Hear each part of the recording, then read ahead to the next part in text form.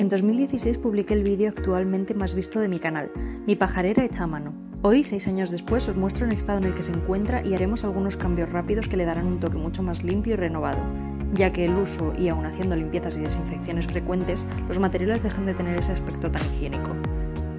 En el vídeo de hoy sustituiremos las bases, comederos y bebederos de nuestra jaula. En este caso utilizaremos unas láminas de vidrio plástico que para mi gusto es lo más fácil y rápido de limpiar y también lo más duradero a la hora de conservar en un buen estado. En concreto he utilizado dos de estas láminas que encontré en Leroy Merlin. Tiene unas dimensiones de 2 por 1 metro y 2 milímetros y medio de grosor.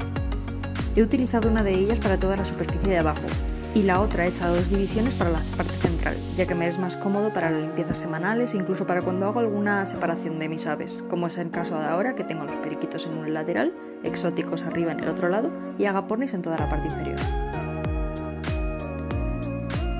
Como veis la forma de trabajar de este material es bastante sencilla, ya que simplemente con un cúter podemos realizar los cortes que necesitemos y después simplemente doblar hasta partir por la línea marcada.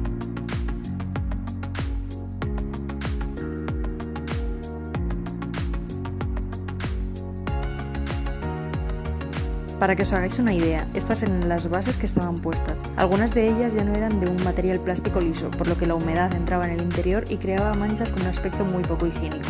Además, los últimos utilizados no eran totalmente blancos, sino transparentes, por lo que las manchas de los propios pájaros ya eran difíciles de eliminar por completo.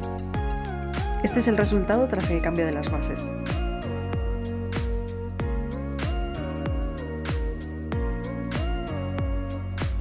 Mi error al hacer esta jaula fue que la base fuese de madera. Como veis es una pajarera que se encuentra la mayor parte del tiempo en exterior y las limpiezas y desinfecciones se realizan con abundante agua, por lo que este material se deteriora más fácilmente. Por otro lado los pájaros.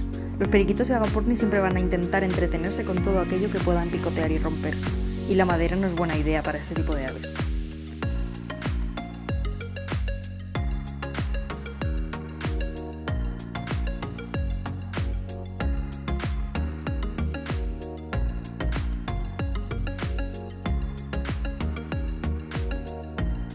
Para el mantenimiento de la jaula también hemos cambiado todos los bebederos y comederos de mis pájaros. Anteriormente tenía algunos de plásticos que por el uso ya no quedaban del todo higiénicos, un aspecto viejo, por lo que este cambio se han reemplazado por todos los comederos y bebederos de aluminio y acero inoxidable. En este caso yo los compré en Amazon.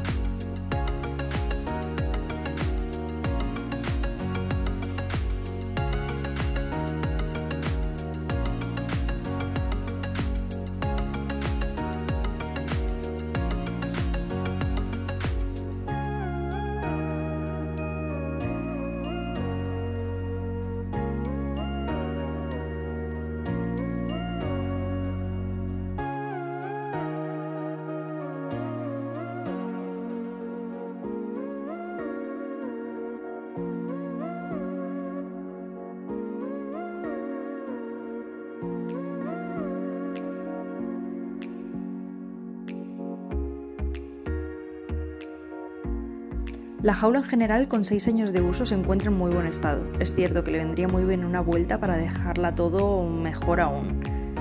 Espero poder hacer una segunda parte de este mantenimiento con los cambios que tengo en mente y poder enseñarlos.